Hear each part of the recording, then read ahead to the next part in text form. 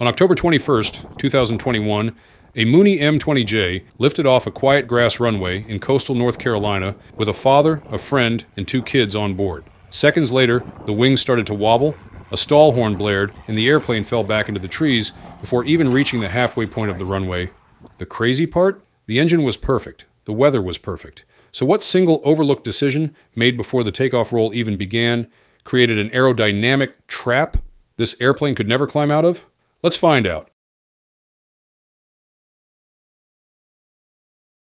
Let's set the scene with just the essential facts before we break down what really went wrong. The pilot, William Will Roberts, 62 years old from Apex, North Carolina, wasn't some rookie. He had years of experience behind him, but extremely low recent flight activity. That detail, by the way, will matter later. With him was Willie Jamie Hobbs Jr. and two minors who survived with serious and minor injuries. It's a heartbreaking mix of family and close friends for a casual flight on a sunny afternoon. Their aircraft was a 1980 Mooney M20J, a fast, sleek, retractable single. Fantastic airplane. Efficient, responsive, but also famously unforgiving when you start pushing its aerodynamic limits. And on this day, it was departing from Holly Ridge, Topsail Island Airport, which is nothing more than a 3,591 foot dry grass runway. No pavement, no fuel service, just turf and trees. The takeoff itself wasn't dramatic at first. On both the witness video and the onboard camera, you hear the Lycoming engine humming smoothly at full power. The airplane lifts off, but instead of climbing away, the wings begin rocking. There's a subtle left drift. Then that stall warning horn kicks in. Seconds later, the Mooney drops into the trees. But here's the thing. The real accident didn't start in the air. Jesus Christ. It actually started minutes earlier, Maggie, before the throttle even went forward. Maggie, come here. One of the most crucial and least glamorous parts of flying is weight and balance. Everybody knows it's important, but very few pilots truly respect how brutally unforgiving it can be. And this accident is a textbook example. When the NTSB ran the numbers using actual occupant weights and realistic fuel assumptions, the Mooney came out either very close to maximum gross weight or potentially over it, depending on how much fuel was still in the tanks. But honestly, whether it was slightly under or slightly over isn't the real story. The real danger was where that weight sat. The aircraft's center of gravity was calculated to be near the aft limit, the single worst place for a CG to be during takeoff. An aft CG makes the airplane feel lighter on the controls, sure, but in the most dangerous way possible. It reduces pitch stability, meaning the airplane becomes far more sensitive to small pitch inputs. It increases the risk of over rotation, where you unintentionally pitch the nose too high, and it raises stall sensitivity, because at an aft CG, the wing is already closer to its critical angle of attack. If you visualize the CG envelope, this airplane was basically sitting right at the edge, inside the envelope, but close enough that it behaved differently, less predictably, and with far less margin for error. And the moment you combine that with a grass runway, you get a perfect storm. Grass increases rolling resistance and slows acceleration. A heavy, aft loaded Mooney needs every foot of performance it can get. So even before the pilot pushed the throttle forward, the airplane's aerodynamic safety bubble was already extremely thin. And then another crucial pre takeoff detail sealed their fate. Here's the part that genuinely makes your stomach drop. The Mooney M20J's POH is crystal clear, set 15 degrees of flaps for takeoff. No debate, no special conditions. This is the standard configuration. Yet, the NTSB found the flap jack screw at 0 degrees, meaning the airplane took off with flaps fully retracted. On pavement in cool weather, lightly loaded, you might get away with that. Maybe. But on a grass runway, with a near max or over max load, and a CG sitting toward the aft limit, this is where things turn from risky to truly insane. Flaps aren't just about getting the airplane off the ground, they give you lift earlier at a lower airspeed, and they dramatically improve your initial climb gradient, the one thing you desperately need when there are trees right off the end of the runway. Without them, the airplane takes much longer to rotate, much longer to climb, and when it finally does leave the ground, it's only barely flying. And this is where we introduce the term that really explains what happened the mush stall. It's not the dramatic wing drop stall you see in training, it's a quiet, sneaky condition where the airplane is technically airborne, but the wing is operating at such a high angle of attack and with so little excess energy that it can't climb. It kind of floats, barely hanging onto the air. So yes, the Mooney lifted off the runway, but it wasn't actually climbing out of ground effect. It was flying in a deceptive, razor-thin margin between lift and stall, and with those flaps retracted, that margin was basically non-existent. The airplane lifted off, but it wasn't really climbing. Here's the part that really shows how brutally honest aerodynamics can be. On the onboard and witness videos, you can hear the engine running smooth as silk. 2,700 RPM, exactly what a healthy Lycoming should sound like on takeoff. There's no misfire, no hesitation, nothing that suggests a power loss.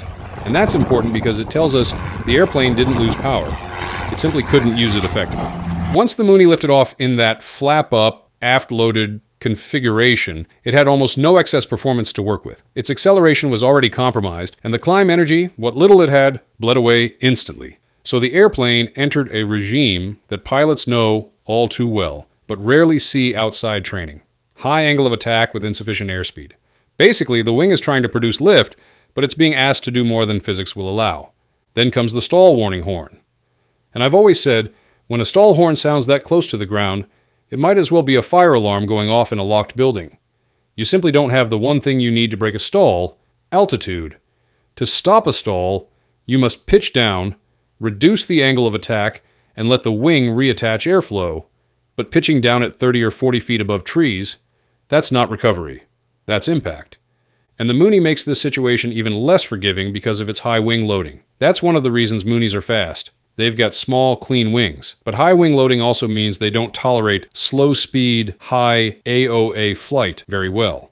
They don't float like a Cessna. When a Mooney runs out of lift, it doesn't give you these long, mushy warnings. It just stops climbing, starts settling, and once the stall develops, the recovery demands altitude you simply don't have. By this point, the airplane wasn't fighting the trees, it was fighting gravity itself. And gravity was winning, but another factor made control even harder during those last seconds.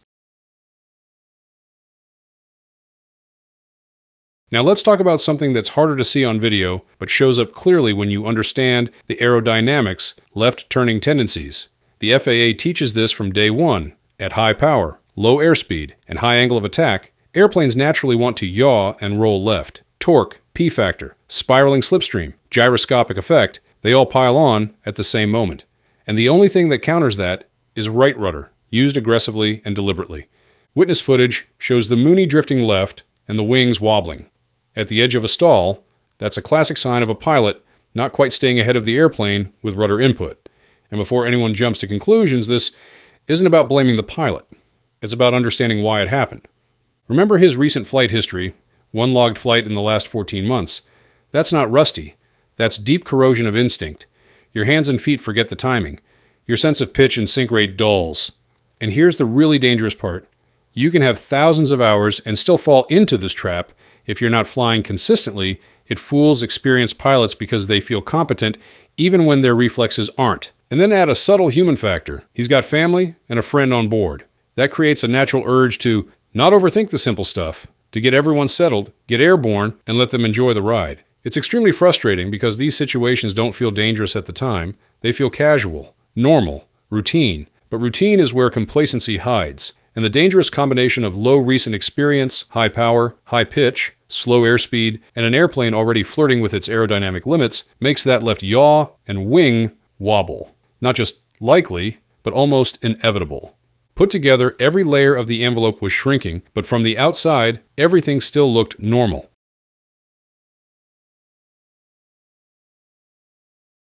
And this is where everything comes full circle. When you step back and look at the whole picture, it's almost surreal. The engine was perfect. The weather was perfect. Flight controls, intact. Nothing failed, nothing broke. There wasn't a single mechanical reason this airplane couldn't fly. Instead, the fatal mistake wasn't just one mistake, it was one condition amplified by several others until the airplane had no safe path forward. You had a near max or over max weight, a center of gravity pushed toward the aft limit, flaps set incorrectly for a performance critical takeoff, a grass runway that sucked away acceleration, and low pilot currency, which reduces the margin of instinct at exactly the wrong time. Individually, these things are manageable. Annoying, maybe, but manageable. Together, They boxed the aircraft into a corner of the flight envelope where recovery was physically impossible. So, what do we take away from this?